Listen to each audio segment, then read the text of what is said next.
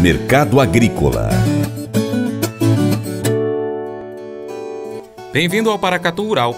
De acordo com a análise do especialista Grão Direto, para esta semana, a expectativa é de menor volatilidade para a soja, com o mercado observando as informações do USDA.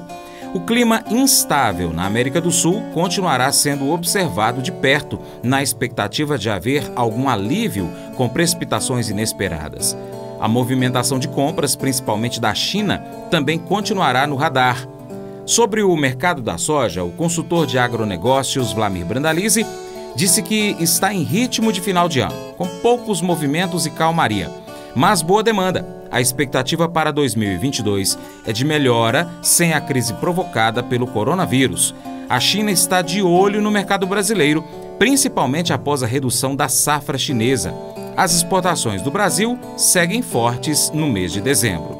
Começamos o comentário de hoje com a situação no mercado internacional da soja. A soja vem caminhando aí já em ritmo de final de ano, calmaria, grandes investidores começando a liquidar posições aí para fazer lucros, né? Tradicionalmente, fim de ano se movimenta pouco, estamos aí há duas semanas praticamente do fechamento de 2021. Vamos entrar aí num 2022 provavelmente muito melhor, né? A crise internacional do coronavírus afetou os mercados e e trouxe pressão. Só que com relação à soja, o mercado vai fechando o ano aí com bons números, né? até perto de 12 dólares e meio lá em Chicago. Safra americana fechada, ao redor das 120 milhões de toneladas, isso dentro disso aí. E os olhos do grande comprador do mundo tá para cá, a China de olho no mercado brasileiro já está encostando navios aí para carregar a safra. Então esse é o quadro aí do mercado internacional da soja que segue com boa demanda e a boa notícia da semana efetivamente é a redução da safra chinesa aí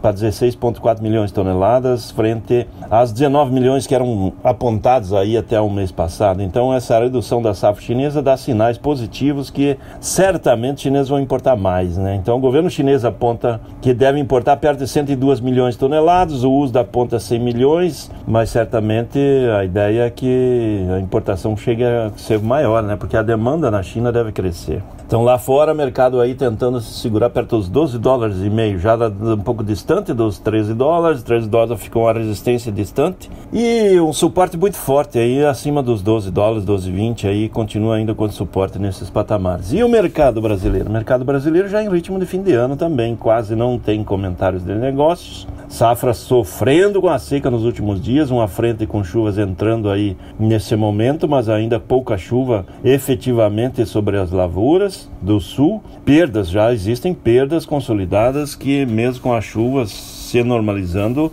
tem perdas que já são irreversíveis, muita lavoura morrendo, prejuízos.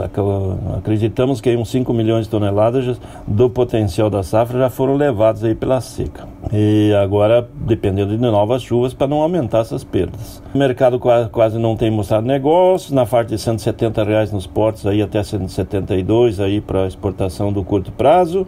Safra nova variando muito aí, a safra nova curta de 162, 163 aí do fevereiro, março e até abril. Maio, junho, julho, níveis de 166 até 168, deu alguma oportunidade até 170 no julho com agosto. Também lento de venda aí, todo mundo esperando para ver aí a definição do clima para se posicionar novamente. Enquanto isso, a CSEX divulgou os dados aí com relação às exportações da soja, que seguem fortes aí no mês de dezembro. Em oito dias úteis, aí encerrados no dia 10 de dezembro último, a CSEX aponta que já estamos com 1.145.900 toneladas embarcadas nesse mês.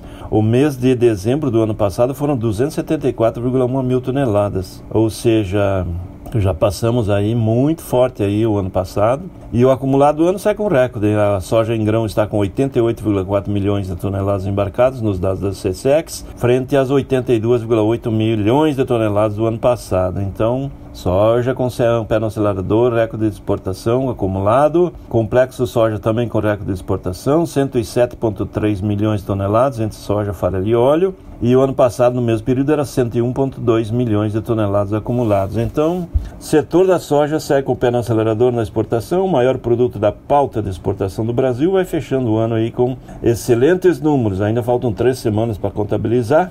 Mas já estamos com o recorde histórico e só vamos aumentar esse recorde histórico e novos embarques devem ser efetivados nos próximos dias. Com relação às lavouras, vão necessitando de chuvas aí, pegando desde o Triângulo Mineiro, descendo São Paulo, parte do sul do Mato Grosso do Sul, Paraná, Santa Catarina, Rio Grande do Sul, precisando de muita chuva aí para diminuir as perdas. As perdas já existem e a safra que poderia passar até de 150 milhões de toneladas se tivesse um clima perfeito, agora está mais distante e dificilmente pode passará de 145 com um espaço aí nessa condição atual aí para vir mais perto dos 140, 142 milhões de toneladas é, se não normalizar bem as chuvas nesses próximos dois, três dias aí que precisa água. Se demorar, perdas maiores. Esse é o quadro quase sem negócio na soja nesse momento. Mas eu vou dizer uma coisa pra você, viu? É, se quiser colocar propaganda sua aqui nesse programa, ó, eu vou dizer um negócio, você vai ter um resultado bom demais, senhor. É isso mesmo, é facinho, facinho, senhor. Você pode entrar em contato com os meninos ligando o telefone deles. É o 38, é o 991810123. Bem fácil. É muito bom porque aí a sua empresa vai sair dentro de um programa que é ligado aí ao homem para a mulher do campo. É nós que vai estar tá assistindo e também vai ver sua propaganda. É bom ou não é, só? Gostou do nosso conteúdo? Então você já sabe.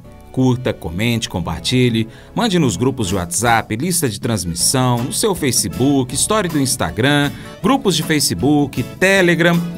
Seu Paracatu Rural vai ficando por aqui com abraços para você, ouvinte, telespectador e internautas. Nós estamos no YouTube, no Facebook, no Instagram, vários aplicativos de podcast como Spotify, Deezer, TuneIn, iTunes, Google Podcast, SoundCloud, Castbox. Também estamos no Telegram. É só você pesquisar aí no seu aplicativo favorito por Paracatu Rural. Abraços a você que nos acompanha pelo site paracaturural.com. Vai lá no seu navegador, entre no nosso site e adicione o nosso site como sua página inicial do navegador. Nós estamos de segunda a sábado às 7h45 da manhã, domingo, 6 horas da manhã, na Rádio Boa Vista FM em Paracatu, Minas Gerais.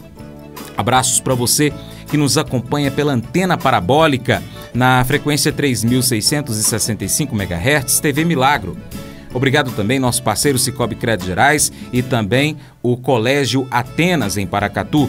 Nossos colaboradores de conteúdo, Vlamir Brandalize, Joãozinho Grafista, Moacir Naves, Dr. Zopete, a equipe do aplicativo Grão Direto, do IMET, também o Marcelo Líderes do IBRAF, Lício Pena, da AMIPA, a equipe do Paracatu Rural, editores, Vantuir e equipe, Lohane Marques, nossa redatora, para minha querida esposa Paula, um beijo. Te amo, Paula. Até o próximo encontro, hein? Vou ficar esperando você aqui, tá bom? Deus te abençoe. Tchau, tchau.